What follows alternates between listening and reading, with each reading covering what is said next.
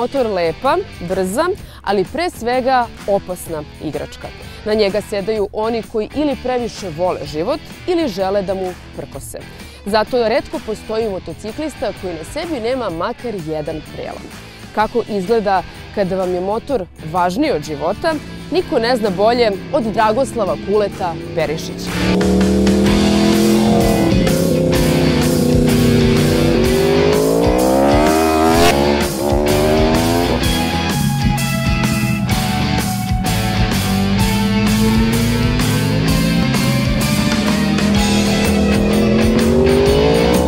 Za vas predstavlja motor? Pa to je ljubav jedna, to je jednostavno, jedna, jedna ta reč je dovoljna.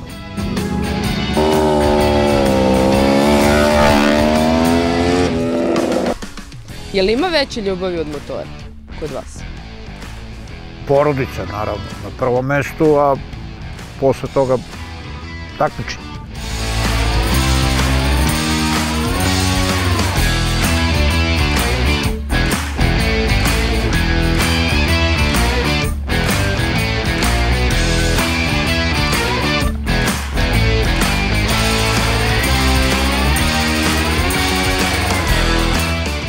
Perišić je pao. Perišić je upravo pao. Ja sam čovek eh, koji može da se kaže da je najmalerozniji takmičar.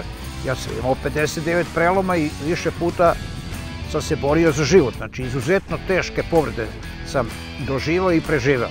A sa druge strane, zahvaljujući tim poznanstvima, titulama, druženjima i tako dalje i tako dalje, eh, otvorio sam sebi mnoga vrata kako u Srbiji, tako i u svetu.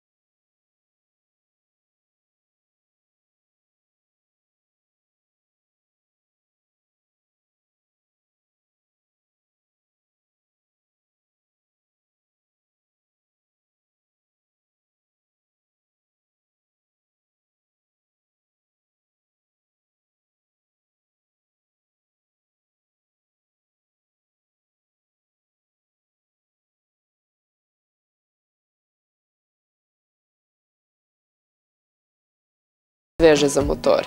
Prvo sećanje priprema tih motocikala ili tog motocikla sa kojim je otac nastupao kada se u oči trke to sprema, pali motor, proba, gura se, onda se onda nisu imali ti uh, alnasari pokretači motora na motociklu, nego se palo na kurvu, u, u stvari na guranje.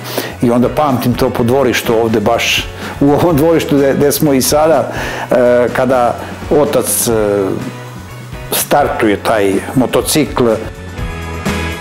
Da li se sećate kada ste prvi put zavoleli motor?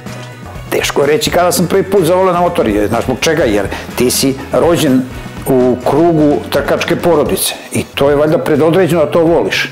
Znači, meni je uvek san bio da se pojavim u toj najsnažnijoj takmičnoj klasi 250 kubika toga doba, gde je moj otac učestvovao tokom 70-ih, od 1971.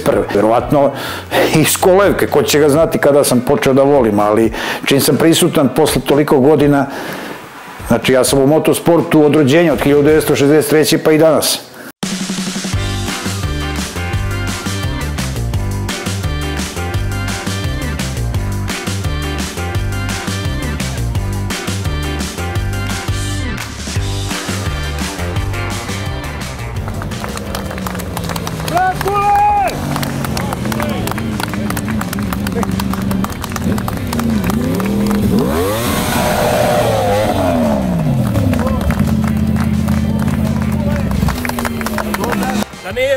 Nema kuleta, ovaj motosport ne bi uspeo, ljudi. I tu nema priče.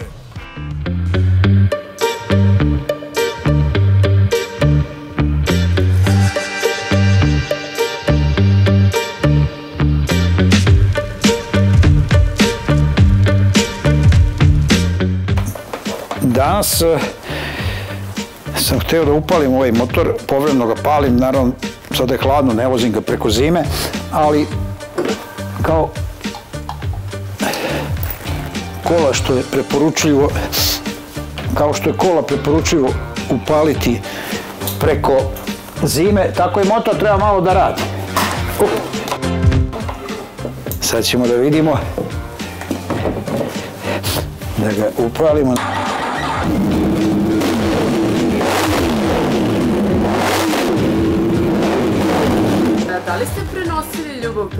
Motorima na svoju porodicu? Pa da, jesam, jesam. Voze, motocikl voze i obe čerke. I Sofija i Jovana, čak i ona vozila dve, tri trke pre 10-15 godina, stvari čak i 20, nemam pojma, ona je 1985. rođena, znači imala je tada 18 godina, 20 godina. A Sofija vozi gradski motocikl, evo tu su gradski motocikl, ja, ja koristim gradske motocikle, ali ne da se vozim, ja se skoro nikada ne vozim, skoro baš nikada, osim tačke A, tačka B, tako vrlo često koristim u Beogradu, da bi recimo s Novog Beograda se probio gore do, do, do centra ili do Rakovice, nije bitno, ovaj, da bih ubrzao put svoj da bi stigao brže. A inače ne volim da vozim motor po, po gradu, po ulici, to ne. I mislim da ni jedan trkač pravi to ne voli, jer tu jednostavno niko, ni svetski šampion, ni ja, niti bilo ko ne može da pruši svoju tehniku vožnje, jer ipak saobraćaj, saobraćaj i tu stalno si napet. Tu ne možeš da voziš onako kako treba motor da se vozi, jer stalno postoji mogućnost da tebe neko ugrozi ili da ti nekog ugroziš i onda jednostavno to ne praktikujem to da se vozika motorom.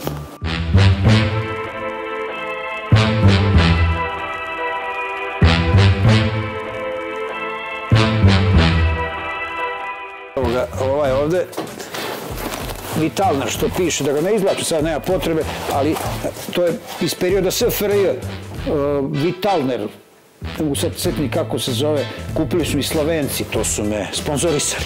Da li imate omiljeno delo za voženje motocikla? Pa nemam omiljeno, svi su ti kombinizoni na, na isti kalup. Jedino što su vremenom e, se potrošili od padova, izderali i tako dalje i tako dalje i onda s na vreme kada se to desi ti kupuješ novi kombinizon, svi su oni slični, sličnog kvaliteta, uvek, uvek naravno kao takmičar kupim nešto vrhunskog kvaliteta, ali nažalost ima jedno, dva ili tri koji su kompletno isečeni, jer e, nekoliko puta imao sam vrlo teške padove gde nisu smeli da mi skidaju kombinizon, bio sam u nesvesti, u komi.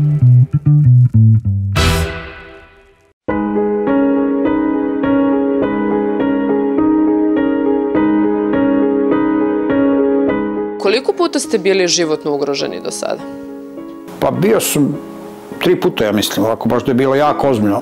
Tri puta sam slomio e, kičmu, u stvari konkretno osam pršljenova sam slomio. Prvi 97. 2, 2015. u Grčkoj 4 i 2020. na jednom treningu ovde u Dobrači sa krosu, na krosu motociklu Cross 2. 97. u Novom Sadu na jednoj trci koja je proglašena najbolja trka na prostorima SFRJ bilo je 30.000 gledalaca, bilo je nekoliko velikih šampiona i onda negdje na pol trke mi je otpao ovaj auspuh i ovako vidi sam TV snimku auspuh e, klati gore dole i jednog momenta u jednoj krivini u direktnoj borbi za prvo mesto na pola trke ili pri kraju trke nije ni bitno sada e, ovaj lonac je podleteo pod gumu a motor je bio u nagibu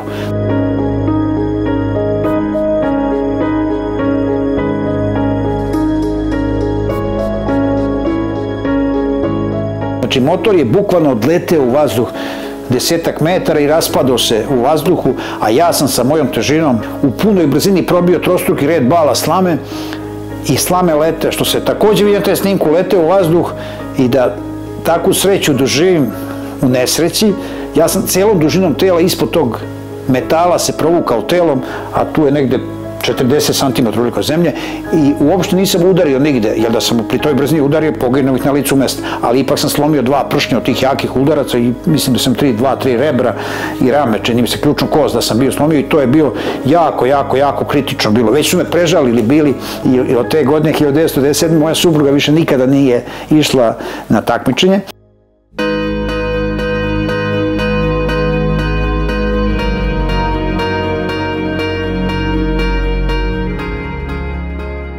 Sve je to trebalo izdržati, okupati, obući, ići po bolnicama, po lekarima, nimalo lako.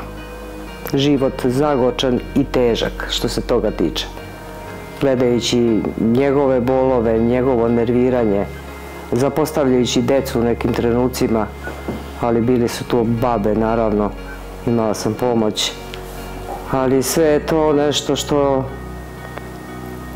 ne bih poželjela nikome, stvarno, da li je to sad splet nekih okolnosti da se to njemu dogodi toliko tih e, padova, to je sad nešto drugo. Nije prijetno to čoveku kada vidiš, osjetiš da umireš. E, I onda ti je žao jednostavno. Ali vidim, osjećam da umirem. I sestre, to mi je ostalo u sećanju, kad te medicinske sestre nako budi me, razbuđuju i kažu mi e, Perišiću, kule, Perišiću, imate trombozu emboli provića, ne smete naglu ruku da pomerite, možete da budete mrtvi, ne možemo da reagujemo. Budite svesni da se nalazite u životnoj opasnosti.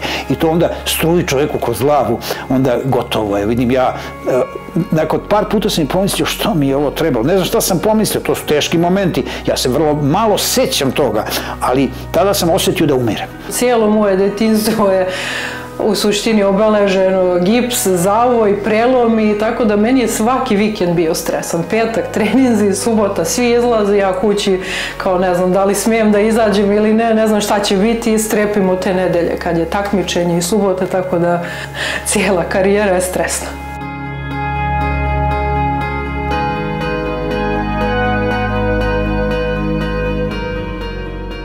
Vozio sam svuda po svetu, pa i u ne samo paju ovde po Evropi i 24 sata Alemani, 24 sata Boldor, Nemačka, Španija, posle taj pad živim 2020. u Dobročne trenutku, tamo kod tog Irca, kad smo neki motor štelove radili za trening, za cross, i posle ponovno sam vozio 2021. i 2022. šampionat Hrvatske.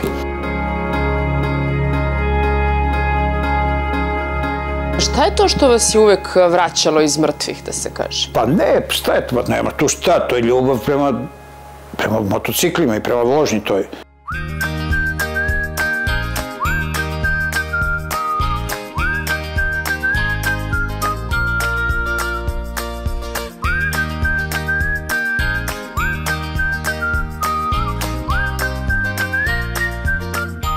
Sve lepe, ali i one manje lepe trenutke u svojoj karijeri vožnje motorom, Dragoslav je odlučio da ostavi upravo ovde u svom domu. I zato se ovde nalazi ljubav prema motorima stara više od 60 godina. Pa se ovo mesto može sa pravom nazvati i muzejem motosporta. Dragoslave, kako ćemo krenuti ovu turu? Pa, kako ćemo krenuti? Evo, svi motocikli su mi podjednako dragi, ali ipak bih za nijansu izdvojio ovaj 250 kubika ovu Hondu ovde, Moto GP, znači motocikl koji nije napravljen u serijskoj proizvodnji. Ovo je motocikl koji sam od 1997. do 2001. godine pet sezona sam vozio, uglavnom sam sve trke pobedio, možda sam dva puta bio drugi, dva puta treći i jedan od redkih motocikla koji, sa kojima, e, sa koga nisam padao.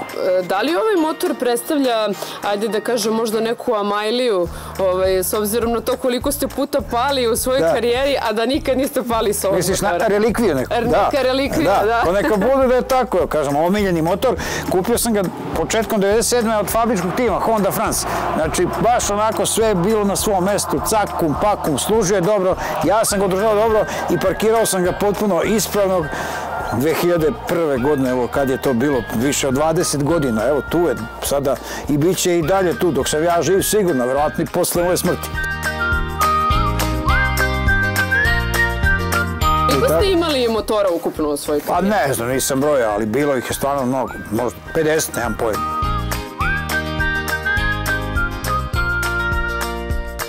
Zašto vam je drago ovaj motor? Pa drag mi je zbog toga što sam s njim vozio šampionat Evropi 2002. i 2003. godine i postigao sam s njim dobre rezultate, a pre svega bio sam prvi takmičar iz Srbije koji je vozio šampionat Evrope. A ovo je možda još specifičniji. To su sa ovim motociklom e, Suzuki 1000 kubika e, K9, sa njim sam vozio šampionat sveta 2009. i 2010. godine i karakteristično je po tome ipak e, odvozati trku 24 sata Le Mana, 24 sata Boldor. A, koliko ste vremena najduže proveli na motoru? Pa kada sam vozio 2009. u Kataru, dva takmičara iz ekipe nisu dobila vize. I onda sam ja vozio koliko je dozvoljeno po pravilniku, ali čini mi se da od 8 sati sam 5 ili 5 i po ja vozio. I to na temperaturi od preko 40 stepeni, to gori asfalt, gori asfalt u onom kombinezonu i to, ali izdržali, završili smo, osvojili smo bodove, mislim da smo šesti bili.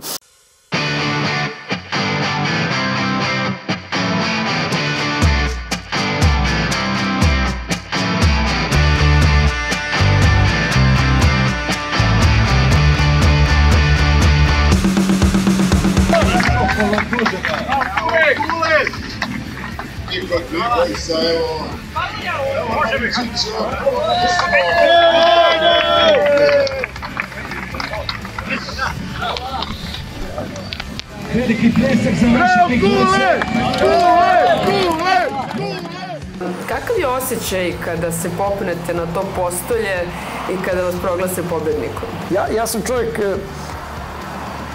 tipa koji se raduje tog momenta, recimo sat posle trke, i onda postoji normalan sa svim. Ili, i ako izgubim takođe, onda mi krivo jedno sat, ali već to prođe sutradan, ja sam drugi čovjek, tako da ne razmišljam mnogo o pobedama i porazima, uvijek sam bio prizeman i sada sam, tako da jednostavno tako funkcionišem. Nikad nisam digao nos, ono sada da sam ovo ili ono, da li sam vozio šampiona sveta ili šampiona de Rosa, ja se ponašam isto. Koliko puta se svirala himna za vas? A svirao je se dosta puta.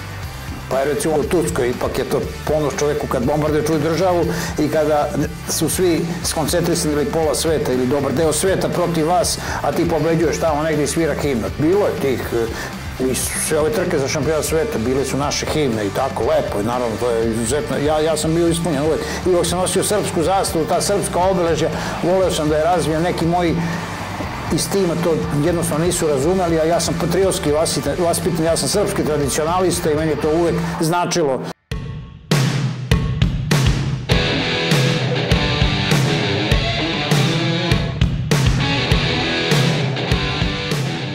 Ovde ima baš mnogo pehara. E, ima 17 očevih tokom njegove karijere i preko 200 mojih, mada ima još dosta tamo medalja i plaketa i tako dalje koje treba da izložim, ali ne može sve da se stigne. Koji vam je omiljeni pehar? Ovo je prvi, taj u Mladenovcu, 1976. godine. E, prva moja trka, imao sam 13 godina i prvo mesto. Eto, to, taj je recimo jako bitan. Evo sada sam krajičkom oka video, ovo je 24 sata Le Mans 2010. u Francusku, ono što sam pričao malo pre onaj motocikl sa koji sam nastupao, tamo što su malo presnimili. Ovo je poslednja titula koju sam osvojio 2010. godine kada sam u 47 godina u najsnažnijoj klasi postao istočan evropski šampion. U Bahreinu sam peti bio 2010. godine, tamo sam baš po suvom. Međutim, jednu trku po kiši sam odvozao fantastično i to poslednju trku 2020, 2014. godine Ošo Slebe, nemački šampion sveta.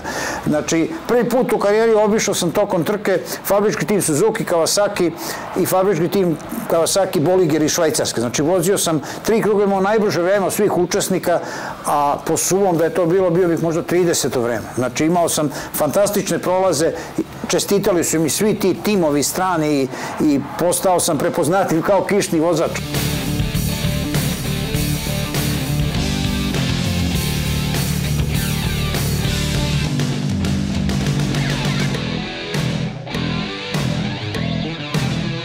Meni je najlepše osjećaj kad...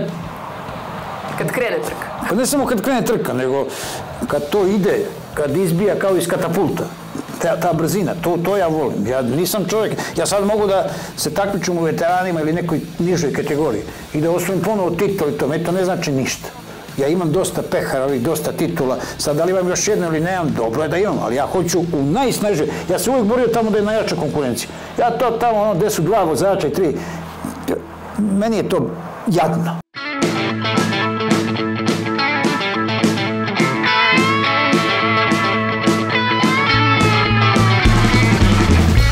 Pitala koja je omiljena relikvija. Ova, evo, to je omiljena jer je upravo na ovom motociklu Ilo Prix, to jest ostatku od motocikla, moj otac Živora Perišić, Žika Čvrka, vozio svoju prvu trku, kao što piše ovde, oslobođenje grada Beograda 1962. godine u krugu Beograd su sajme. Zašto baš u vašoj kući da se nalazi muzej motosporta? Pa zbog toga što e, ovaj muzej nije motosporta, ovo je motosporta Perišić, znači motocikli sa kojima sam ja nastupao, moj otac i oni koji su bliski porodici Perišić bili. On obeležava 60 godina karijere jedne porodice i živi je dokaz da iz jedne male sredine gde sam ja odrastao, da može, može mnogo da se postigne na svetskom nivou. Nadamo se da će da se održi. Pa održat će se, održat će se, naravno. Bar dok sam ja živ, ali i posle mene, sigurno. Deca su lepo vaspitana i nastavit će oni to da održavaju i posle mene. Šta misliš o tome što se muzej moto sporta negde nalazi u vašoj kući? To mi je nešto najlepše. Samo još da više ne vozi trke i da bude živa, da može da bude kustos tog muzeja.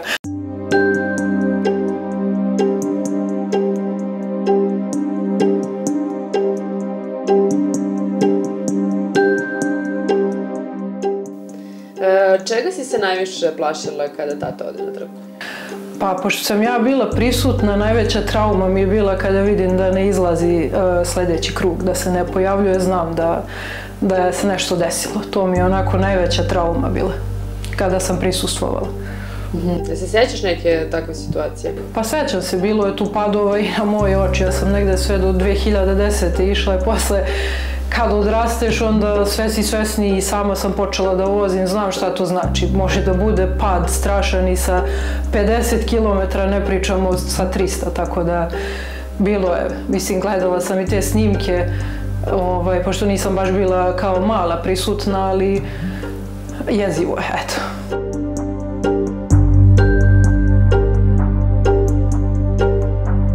A to je memoralni točak od granita posvećen meni dragim ljudima, svi su oni bili takmičari, niko od njih nije živ, zbog toga se i nalaze ovde moj otac Žika Perišić, Predrag Popović, Ljubomir Popović, Miroslav Žiković, Rade Đurić Vanđo i Darko Ćirković. A šta se njima dogodilo? Pa kako kome? Dvojica su mi izdahnuli na rukama. Jedan u Novom Sadu, Mišeluk Predrag Popović Žabac, 2000. godine, drugi Miroslav Žiković, tri godine pre njega u Kraljevu na stazi Beranovac. Moj otac je umro prirodnom smrću, imao 44 godine. Njegov veliki protivnik kolega Ljubomir Popović, Bata Pop, on je 2010. umro, imao je preko 70 godina, blizu 80. Darka Ćirković, jednog mog omiljenog učenika iz Krušeca, su ubili u Italiji i Radivoje Đurić Vanđo, jedan moj veliki prijatelj Sopota koji je vozio za moj motoklub Diamant.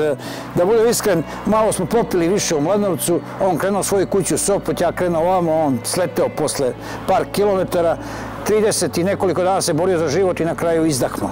To su vrlo, vrlo, vrlo teški uraci i siguran sam da, da dosta njih ne bi više selo na motor. Međutim, meni je teško i dan danas što ih više nema.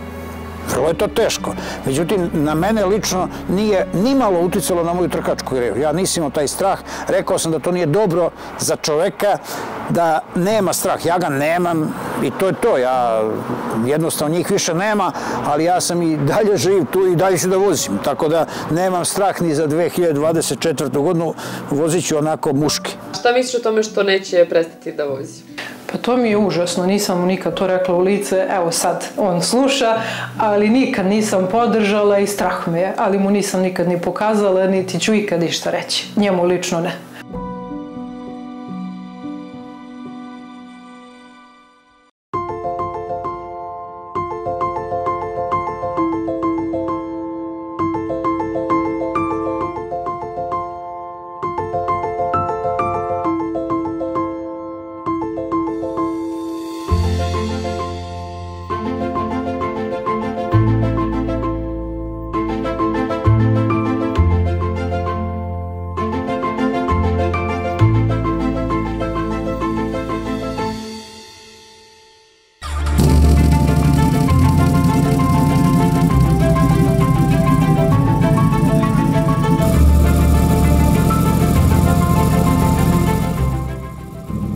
Najbitnijih stvari na svakom takmičenju, znači obavezno.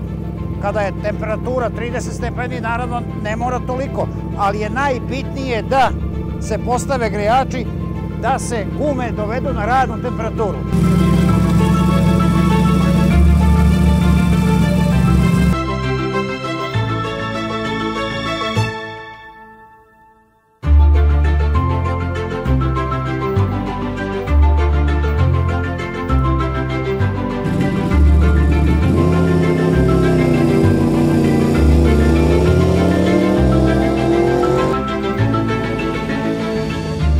Godina ljubavi, odricanja, tragedija, ali i uspeha. I sve je to jednom čoveku stalo na dva točka. Između novog pehara ili suze porodice, linija je i dalje veoma tanka. Da li ikada planirate da prestanete da vozite? Prestaću onda kada ne budem konkurentan na stazi.